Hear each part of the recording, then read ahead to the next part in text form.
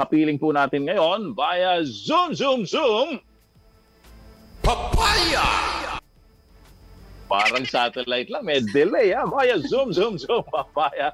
Si Ginoong Conrad Vargas po ha. Siya po ang isa sa mga convener ng Stop Kaliwa Dam Project at Executive Director na rin po ng Save Sierra Madre Network Incorporated. Sir Conrad, magandang umaga po. Tony and Casey. Magandang magandang umaga po Tony and Casey at sa ating mga tagapakinig. Magandang umaga po. Sir Conrad, update mo kami ha, mabilis na mabilis lang. Ano na po ba ang estado nitong Kaliwa Dam? Ano na ba ang latest dito? Uh, Siyempre, unang-una po dapat nating intindihin na yung pagtatayo ng Kaliwa Dam ay may dalawang tinatawag natin na uh, pagmamayari, kung kumbaga man sa madaling salita. Yung pong bahagi ng uh, ancestral domain, pagmamayari ng mga katutubong dumagat remontado, at syempre nandun po sa loob ng protected area. Magkano po siya? Uh, magkasanib doon sa isang uh, uh, lugar na yan. Kaya okay. dalawa po yung ini- binabantayan natin yung estado ngayon kung ano na yung kalagayan. Una po, dahil ito po ay nasa loob ng ancestral domain, kailangan po ng pahintulot ng mga katutubo. At uh, dahil naman po ito ay nasa loob ng protected area, doon po sa Presidential Proclamation 1636, kailangan po ito ng pagsangayon ng PAMBI at ng DNR sa Kalakan. So yun po yung binabantayan natin. Ano po ang estado ngayon? Sa mahabang-mahabang panahon po ng uh, uh, pagpuproseso para uh, kunan ang uh, ang side o yung panig ng mga kapatid nating katutubo doon sa kanilang pagpayag, yung tinatawag po nating proseso ng FPIC, ay nitong nakaraang mga linggo po ang nababalita namin ay binigyan na, na ng pahintulot na ilabas na yung CP. Ito po yung pinakahuling bahagi doon sa pre-prior and informed consent processes. Yung pong CP ay uh, Certificate of Precondition na kung saan sinasabing lahat ng mga pag-usapang may mayroon mang hindi pagkakapare-parehas ng kanilang desisyon ay binibigyan na ngayon ng uh, ng tuldok at ito'y sinasabing pinag, uh, sinang-ayunan na. Ito po yung lumalabas ngayon pero siyempre may mga nagko-contest po kasi doon sa mga proseso ay hindi naman talaga nasunod at marami po tayong binabayan tong, binabantayan tungkol dito. Doon naman po sa kabilang so, bahagi, sige po. Hmm. Oh, so para lang ma-recap din natin na mabilis lang, ano, Sir Conrad, no? So yeah. meron meron na daw pong nilagdaan na memorandum of agreement uh, sa pamamagitan po ng uh, itong MWSS uh, ah, mismo at nitong uh, mga katutubo. Tama po ba? Hmm. Opo, noong pong January nangyari yan, noong ginagawa po yung pagpuproseso ng Memorandum of Agreement. Uh, okay. Ang alam ko po dyan ay may dalawa o tatlong member doon sa siyam na lumagda na under protest po yung kanilang pagprotest, ay yung paglagda dyan under protest. Okay, dahil lang sinasabi po ng iba, ng mga kritiko dito, na hindi naman daw lahat ng mga tribal leaders ay nagbigay ng kanilang pahintulot. Parang kumbaga, pumili lang daw ng mga ibang tribal leaders na siyang lalagda dito sa MOA. Tama po ba? Opo, yun po yung uh, uh, nakikita natin doon sa nagiging proseso. Alright, so ito na nga po, no? meron na tayong free, prior, and informed consent di umano dahil po dito sa pinirmahang MOA ano pa ho ang natitira pang precondition na hinihintay? Uh, ito po yung yung pinakahuling bahagi nga ng uh, ng proseso ng FPIC at uh, uh, doon po sa binanggit na na report ay meron pong mga undertakings na dapat ayusin. Una po ay dapat uh, ayusin po yung relocation noong in-identify nila na maapektuhan ng mga katutubo doon sa kanilang lupaing ninuno dahil siyempre masasubmerge at saka maapektuhan po yung kanilang paggalaw, yung kanilang pagbayan at yung kanilang tahanan. So yun po, isa sa mga nakalagay po doon sa uh, undertakings na dapat ayusin. Uh, yun po. Okay. Yung, yung pong pangalawa, doon po naman sa side bilang ito po ay nasa loob din ng protected area. Uh, unang-una po, siyempre kailangan nila ng pahintulot ng PAMBI, ng uh, Protected Area Management Board. Sa katunayan po, dahil kami po doon sa am, ito pong aming uh, uh, samahan, organisasyon, ay member po ng PAMBI, hmm. ay wala po kaming napagkakaisahan at wala po po kaming nai-issue na PAMBI resolution o PAMBI uh, sabihin po natin ay pagpa-permit para pahintulutan na yung uh, pagtatayo ng Kaliwa Dam. Hmm. Kaya nga po, malaking bahagi yung pagtutol natin ng mga nakaraang panahon ay bakit sinimulan yung pagtatayo ng, ng, kals- ng kalsada, yung access road, na wala pa namang permit. So yun po yung mm-hmm. napakarami pong mga violations na nangyari at ito po ay submitted na sa DNR for uh, uh, resolution at ngayon po ay uh, talagang pinipilit po na kunin yung pagsakayo ng PAMBI at siyempre, hindi lamang po naman yung protected area management po na kailangang magbibigyan ito ng pahintulot dahil ito po siyempre nasa jurisdiction ng mga munisipyo o ng local government. Yung pong pagtatayo uh. na mismo ng dam ay kalakhan po ay sakop ng general na car sa pagsangahan, barangay pagsangahan sa sitio Quebrosa po. At yun naman pong ibang portion ay nasa loob po ng Infanta, ng jurisdiction ng Infanta. So sa ngayon po ay wala pang matibay na, na nakukuha ang MWSS ng kanilang permit o local permits from these municipalities. Kasama na po yung Tanay kasi yung bahagi po nung nung upstream nung pagtatayo ng Kaliwa Dam ay maapektuhan po yung bahagi ng Tanay, particular po yung Barangay Daraitan. So wala pa po, wala pa pong nakukuha at naibibigay ng mga local permits. Hmm. Pero partner, Ginong Vargas, sabi nyo nga kanina, nagsimula na yung access road. Opo. So, so ibig sabihin, merong pumayag. Merong nagbigay ng ano, certificate, pahintulot. PCC, pahintulot na simulan yan. At kung pupuntiryahin natin, kung tutukuyin natin kung saan nagsimula yung pahintulot, kanino nagmula yon? Noon pong noon pong malaman kasi na, nabulaga ang karamihan po noong ginagawa yung yung uh, pag ano pag uh, construct ng access road. Hmm. Uh, noon pong yan po ay binigyan ng pagkakataon na uh, i-assess at saka uh, suriin, pinuntahan po yung lugar na kung saan ay binubuksan. Na, na, napatunayan po na wala pong nagbibigay ng pahintulot. Kaya po yan ay uh, nag-issue po ang provincial gov ang ang, ang, ang hindi lamang po sa Central Office kundi sa Penro ng oh. in decision uh-huh. order. So ibig sabihin, nakita po na talagang wala itong permit at ginawa lang sa pamagitan po ng MWSS at ng DPWH. Pero imposible kayang makaka- makagalaw yung paggawa ng access road na yon na hindi nalalaman ng lokal na pamahalaan? Ay yun nga po ang aming kino-contest. Kasi po uh, doon po sa mga mga mga uh, sabihin natin mga dokumento particular doon sa mga napicturean noong uh, kung saan ay nag-groundbreaking o di kay sisimulan yan, nandun po yung opisyalis ng lokal na pamahalaan ng Infanta na pinadala ng mayor at saka ang uh, opisyalis po ng lokal na pamahalaan ng General Nakar pero ang pagkasabi po ay magkakaroon lang ng assessment, hindi po magbubutas ng kalsada. Yun po, pero binungkal na, di ba? Yes po, yan po, yun po ang naging uh, uh, katotohanan diyan. Mm. Binungkal, mm. binungkal na para lagyan ng kalsada. Eh, sa huli sa huli niyo pong uh, impormasyon, uh, Sir Conrad, nabuo na ba yung access road? Eh, napatag na ba? Meron na po. Uh, dalawang beses po kaming nagkaroon ng site by, by, validation doon sa lugar at uh, oh. nakita po natin na almost nasa uh, 10 to, to 12 hect, uh, uh, kilometers na po yung Kil- stretch kilometers. na buksan po. Oh. Pero wala pa po ano? doon sa ground zero noong pagtatayo ng Kaliwa Dam. At dahil ano, na ano, po, dahil po mayroon... Anong ano, uri, anong uri bang kalsada yan? Gravel road lang ba o paved road?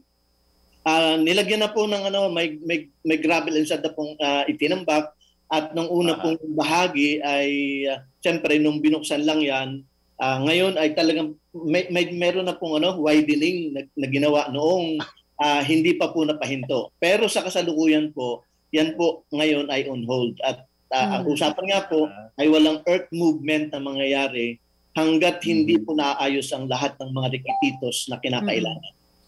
Napakagaling na assessment, partner. Biruin mo, assessment, biglang humaba na from 10, eh, between 10 to 12 kilometers. Pero Oo, assessment lang yan, sabi ng lokal na pamahalaan. Pero, Ginoong Vargas, ito ang tanong. Um, dahil na andyan yung access road, may preparasyon, although sinabi nyo nga on hold, ito ba'y nangangahulugan na wala nang magagawa ang taong bayan? Wala na tayong magagawa para pigilan itong uh, kaliwadam dahil mukhang uh, tuloy-tuloy ang kanilang, uh, sabi nyo nga, pagbubungkal para dito sa access road at tuloy-tuloy ang kanilang uh, uh, operations para uh, matuloy itong project na to? Wala na hubang uh, makakapagpatigil pa dito sa Kaliwa Dam? Uh, meron po kasi kasama din doon sa undertaking, particular po doon sa side ng uh, bilang protected area, ay hindi po po pwede talaga magsimula na gumalaw doon sa mismong uh, particular po doon sa paggagawa na ng dam hanggat wala pa po silang clearance o permit na nakukuha sa malokal na pamahalaan. Hmm. Kaya ang amin uh, at alam po naman namin kami po nandito sa, sa Infanta ay matinday po ang paninindigan ng pamahalaang lokal at saka po ng taong bayan ng Infanta yung pagtutol yan at uh, talagang hindi po kami namamayagan para yan ay itayo. Kaya yun po hmm. yung magiging malaking malaking uh, ambag namin para hindi lang po for the sake na matutulan yan kasi alam po namin kung anong mangyayari. At marami na tayong pruweba, marami na tayong karanasan na pagka nasimulan po yan na itayo na, ay talagang sa halip na grasya ang mangyayari. Disgrasya po sa karamihang tao. Mm. Pag-usapan mo natin uh, doon. Kasi naninimbang tayo eh, partner, di ba? Mm. Ng benepisyo. Um, ano ang disgrasya na maaring sumapit sa atin pag natuloy itong paggagawa uh, nga nitong kaliwa dam? Una po ay dalawa po yung binabanggit natin ano, yung sa itaas na bahagi yung upstream na pagtatayo ng kaliwa dam, nandun po yung communities ng mga katutubo. At dahil po yung sa amin pong nakuhang informations at sa aming pagkalap uh, ng ilat ilang mga datos, yun pong pagtatayo ng kaliwa uh, tataasan po siya ng ano, 60 eh, meters ang height.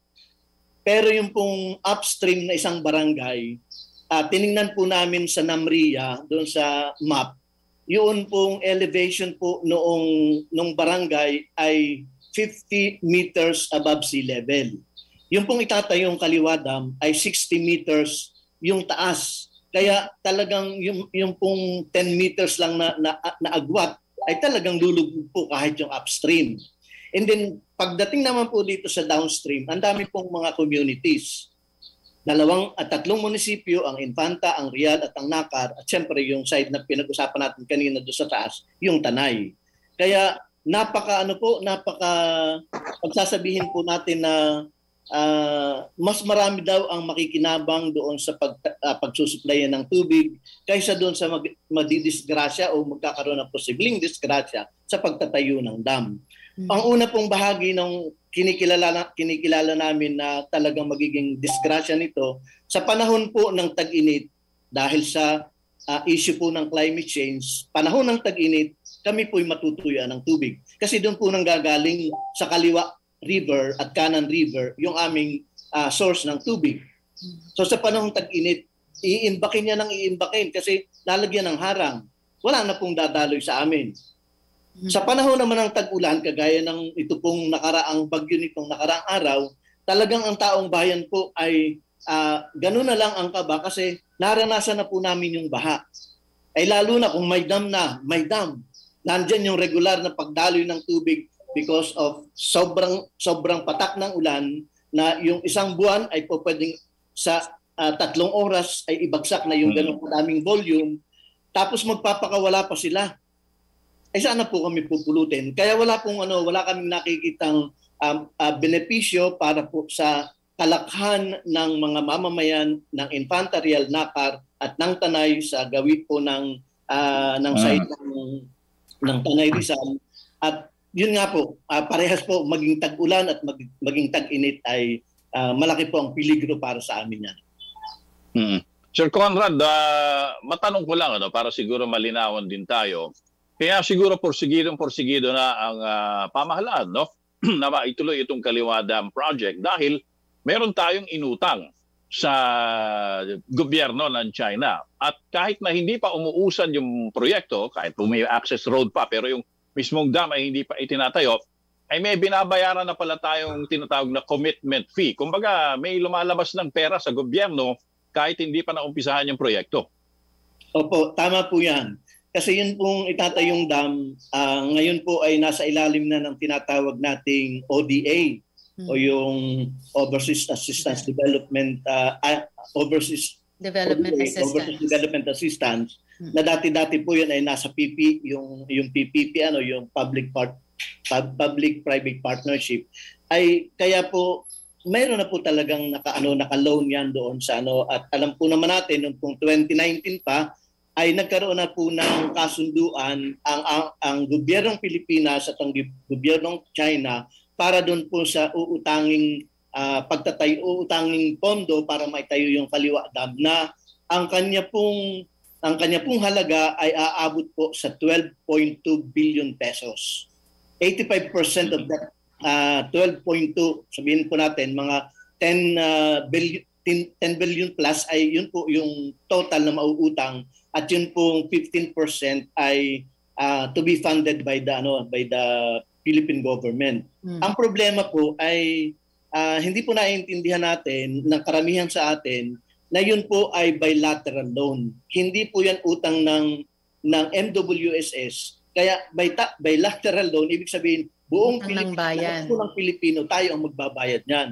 Mm-mm. Kasama po yan doon sa loan ng uh, ng ng ating bansa. Kaya kahit yung taga Mindanao na hindi uh, nakaka nakakapakinabang doon sa ginawang uh, ginawang uh, tubig ay yung ginawang dam para mag-supply ng tubig sa Metro Manila ay kasama pong hmm. magbabayad.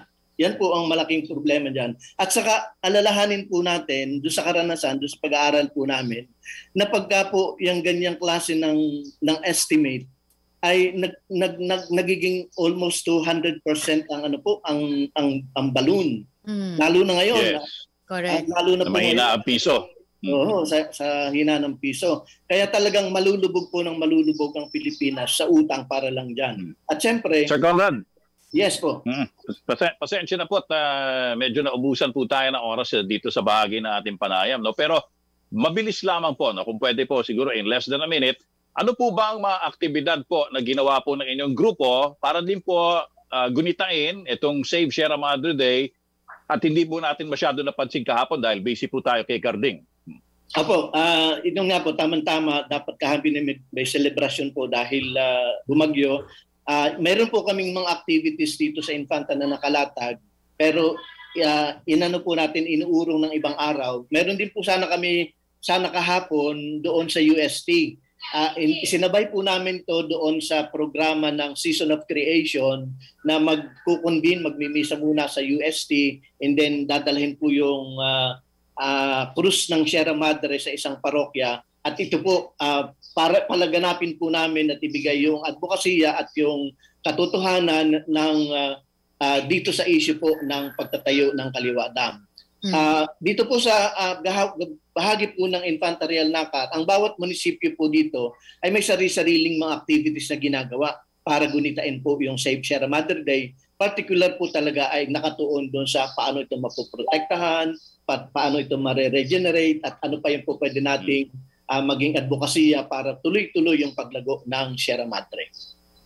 Okay. At sana nga po ay mas uh, mamulat pa ha, ang ating mga kababayan uh, dito po sa inyong uh, ginagawa pagsisikap na maprotektahan itong Sierra Madre at uh, mas maunawaan pa no, kung ano nga po ba ang magiging uh, grasya o disgrasya na idudulot po nitong kaliwada. Ginoong Conrad, uh, maraming salamat po ha, sa oras na binigay niyo po sa amin.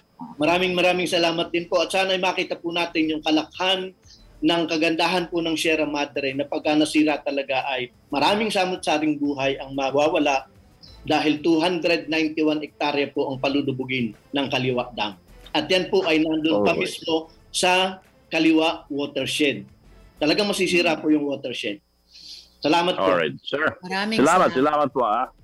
Ay, nako mga kapamilya. Alam mo, sa mga usaping environment, kuminsan eh, malayo sa bituka, sabi nga ng mga tao, di ba? Mm-hmm. Dahil hindi daw nila masyadong iniisip yung environment sa araw-araw na buhay nila. Pero kung tutuusin nyo, ah, yung yung lugar kung saan kayo kumikilos depends on your environment, no? Kung no. latong lalo itong nasisira, eh mas pati yung buhay ng kalidad ng buhay ninyo ay apektado apektado, di ba partner? Mm-mm. Kaya nga yun din eh, sinasabi natin partner, hindi lang ito basta bulubunduking bahagi ng ating bansa. Ito ay buhay. Ito ay buhay na parte ng ating bansa. So isipin nyo na lang, kung saan tama si partner, kung gumagalaw kayo ngayon, ako dito sa Sawan, si uh, partner sa kanyang uh, bulubunduking bahagi din yeah. ng kamay nilaan, isipin nyo na lang pag yun ay under threat mm. na maaring mabago ang buhay ninyo, ano ang gagawin ninyo? Paano kayo gagalaw? Yun na lang ang isipin ninyo. Yung pong aming right. panawagan na yung pong aming panawagan, isang ano lang po, ang buhay na Sierra Madre ay buhay nating lahat. Hindi lang po sa amin, kundi pati sa kamay nilaan. Na, na, naranasan na po yan nung panahon ng Undoy. Tama po, tama po.